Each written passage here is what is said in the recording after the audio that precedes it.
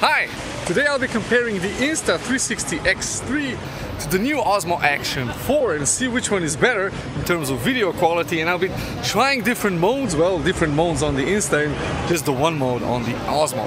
So let's see which one's better.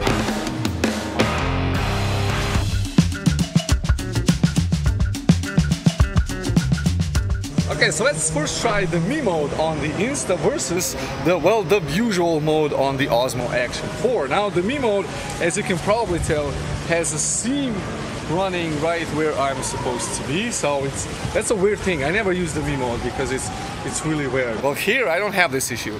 So I'm just me. Now on both cameras I'm using the standard picture profile, so no log picture profiles this time around because I just want to have everything set to auto and just work with just pressing the start button and working with that. I mean that's what these cameras were made for.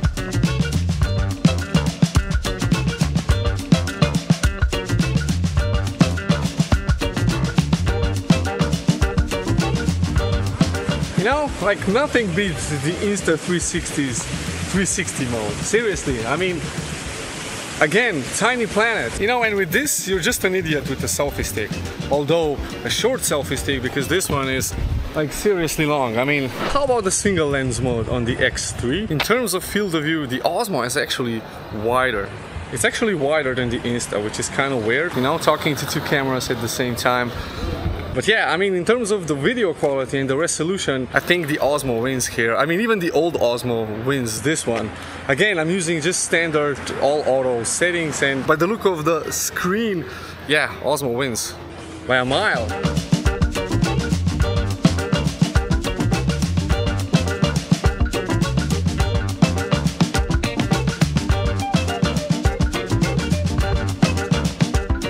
There's one thing that you cannot do with the Osmo Action 4 and that is the third person view which I'm doing right now. I mean this looks this really looks like you're an idiot walking around with a pole stick but you know the view is interesting and you get that kind of third person experience. So two cameras at the same time and wow there's a there's a big ball over there.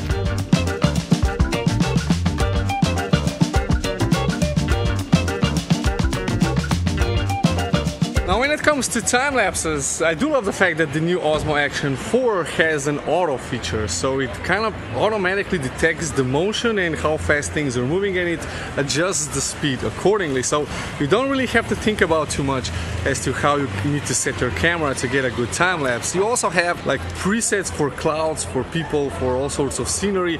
And here on the Insta, for instance, I don't have this. I just have to do everything like manually. And there's a guy skateboarding here, or, or skating, rollerblading, uh, and he's quite quite good actually.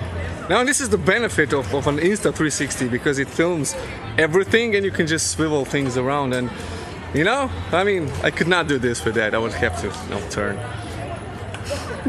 but he's good. A complete change of the environment. Now, uh, let's test out how good these two cameras work in the dark. We will venture into the forest. Sorry, I have to turn you guys like this. Oh yeah.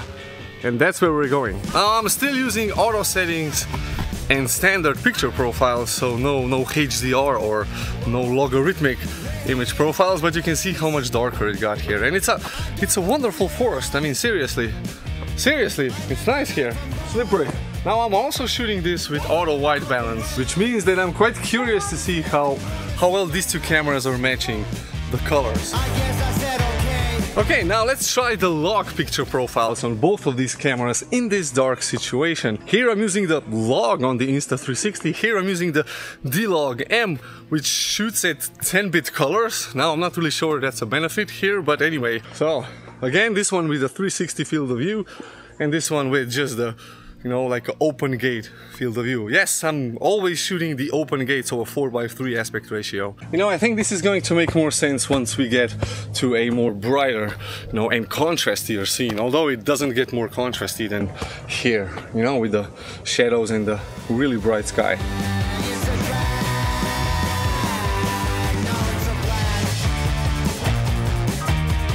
You know, creative shots like this Okay, so now let's look at the full potential of the logarithmic image profile. So the log and the D-log. I mean, how much more dynamic range does the Osmo Action 4 have over the Insta360 mosquitoes? There's so many mosquitoes. I mean, we have so much moisture in this country. Seriously. But yeah, you know, try to pay attention to the clouds in the back. I mean, which one, which one shows them better alongside with the shadows over there? Now when it comes to the size and weight of these two cameras, I mean it's pretty much clear which one is the winner. And on the Insta360 X3 you have both lenses protruding out, which means that you will damage them if you bump them. Now you can use lens guards, but I, I don't use them because they just keep fogging up, um, so I took them off. So now I have to be very careful, whereas with this one you actually have a lens glass or a lens protector, which if you, you know, if you break it somehow, you can replace it. Here you have to actually replace replace the whole camera. So this is a definite win, I think, for the Osmo Action 4 in terms of size and form factor. Now when it comes to the battery life, I have to give this one to the Action 4 because the battery life, as you can see, is much longer than on the Insta X3 and I've noticed this in my everyday use. Now I've been using this camera for about a week now and it definitely holds in terms of the battery while here I'm always running out of battery. So if you need spare batteries then you definitely need them for the X3 and for the Action 4 I mean mean, honestly, I'm not even considering on buying extra batteries. No, but still, tiny planet. Yeah, I know, it's a gimmick, I know. What about the stabilization? I mean, which one is better? This is with the Rocksteady Plus.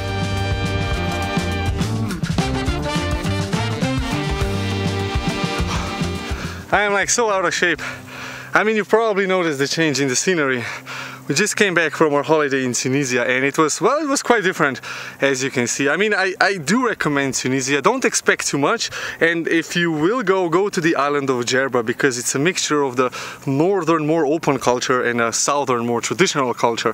The food was okay, the people were really friendly and yeah, it's definitely not as humid as here. So to wrap this video up, let's first talk about the Osmo Action 4. Now, DJI have made something different this year as they released this ahead of time. Typically a new camera comes out right around where GoPro releases their camera and we're waiting for the GoPro Hero 12. Not really sure if it's going to be called Hero anymore. I think it's just going to be called GoPro 12 Rumors. But it's probably not going to be a much bigger improvement to the Hero 11. Now DJI definitely made a big improvement with the Action 4 and since they've released it ahead of time you can now take this into your holiday and you know have fun with it. So they've you know, jumped ahead of GoPro with this little teeny tiny marketing trick. So who is this camera for? Well, basically, if you want to do vlogs like I've showed you in this video and some of the previous videos with the Osmo Action 1, well then this is definitely a better choice because the video quality with this is just amazing. I mean, I'm really impressed at how a small camera like this can produce really high dynamic range and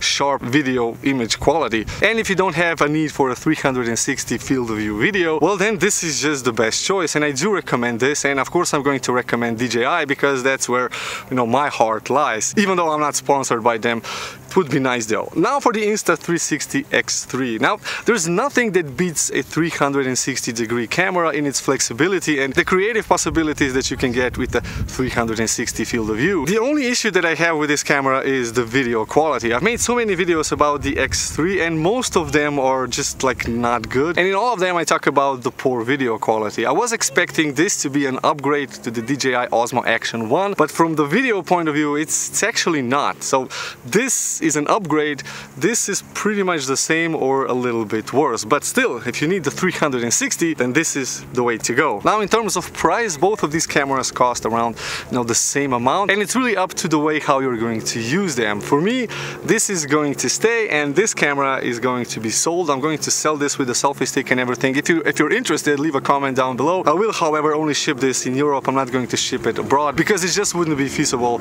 So anyway, if you're interested, let me know. If you have any comments comments or questions, leave that down below. Also hit the like button for the video and subscribe to the channel for more content like this. And I'll see you in the next one. Bye bye.